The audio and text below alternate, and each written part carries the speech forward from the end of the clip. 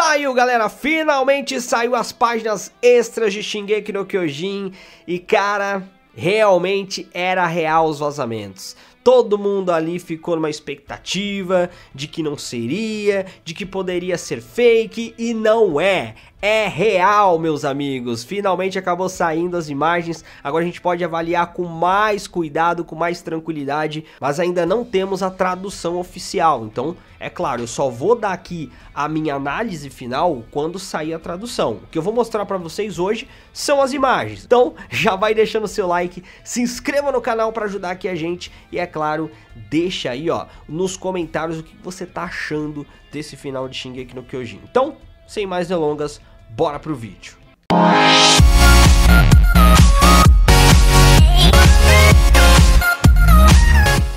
Bom, sem enrolação então, vamos analisar essas imagens. Primeiro a gente tem ali a primeira imagem mostrando Mikasa e Mir conversando. Essa conversa ela foi citada nos vazamentos tá, da semana passada, então a gente já sabia que isso iria acontecer. Então no momento em que a Mikasa acaba cortando ali a cabeça do Eren, acaba matando ele, as duas têm uma última conversa, a Ymir acaba se despedindo ali e acaba finalmente ficando em paz, né? Ela vai desaparecendo ali nos caminhos. E aqui a gente tem uma imagem estranha, né? Porque é o Rei Fritz tomando uma lançada e a Ymir acaba sobrevivendo e ficando ali abraçada com suas filhas. Será essa uma reflexão da Ymir sobre o que aconteceria se ela tivesse sobrevivido? O mundo seria um lugar melhor, talvez? Então, eu acho que isso foi uma reflexão final da Ymir, tentando, sei lá, talvez imaginar ali um futuro alternativo para a vida dela. Bom, é, seguindo então, a gente tem a Mikasa ali com a cabeça do Eren, e aí a grande surpresa, né, que mostra ali a Mikasa casada com um filho visitando ali o túmulo do Eren. Mas só que tem um detalhe, a gente não tem aqui, por exemplo, escritas depois nessas imagens. Não sei se faltou um balãozinho ali, né? Se foi cortado, talvez uma nota do autor, né? Conseguiria explicar melhor. Não sei, a gente vai ter que esperar para ver. Mas de fato não tem nada falando que é o Jean, né?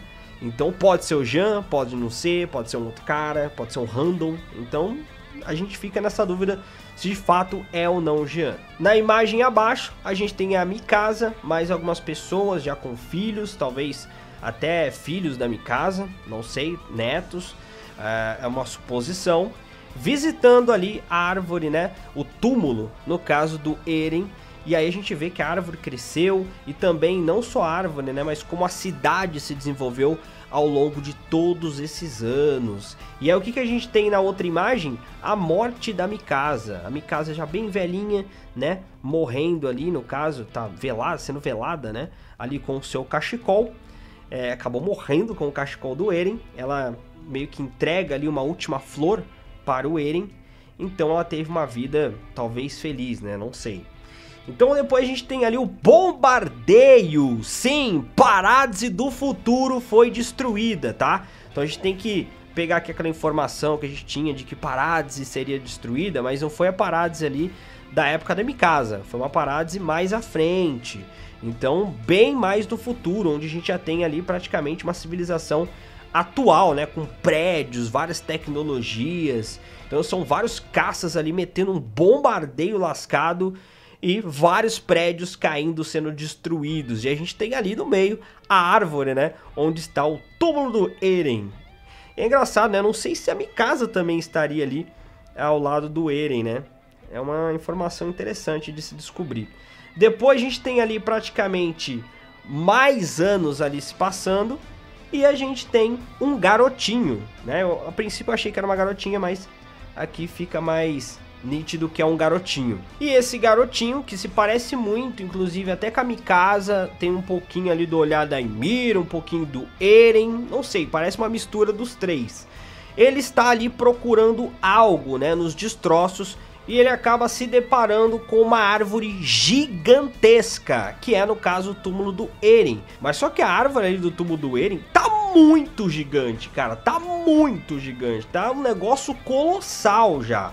Né? A gente pode ver ali uma floresta com vários pinheiros, várias árvores grandes e aí essa árvore se destaca de uma maneira absurda, tá muito grande, referente a todas as árvores. Então a gente vê esse garotinho que encontra essa árvore e essa árvore está muito idêntica à árvore no qual Aimir ganhou os seus poderes de titã. E aí a gente tem ali vários pássaros e Jäger, né, representando talvez a liberdade. Esse garoto busca a liberdade e seria uma mensagem final mostrando que não importa o que aconteça, o ciclo de ódio vai sempre continuar. Seria isso? A galera lá da aliança viveu feliz, né, durante um tempo e agora a gente tem ali uma fase de mais uma vez ódio no mundo, no qual ali temos destruição e a natureza, né, tomando conta daquilo tudo novamente. Olha que interessante. Bom, é um final que parece ter algumas coisas interessantes e se bem explicado, pode se tornar um bom final. Mas é claro, a gente precisa da tradução oficial e também compreender melhor tudo que aconteceu aqui. A galera já tá brincando, zoando que é o Beren, né? Beren Next Generation, né? Shingeki Shippuden, enfim, já, já tem vários memes, né? Brasileiro é, é complicado.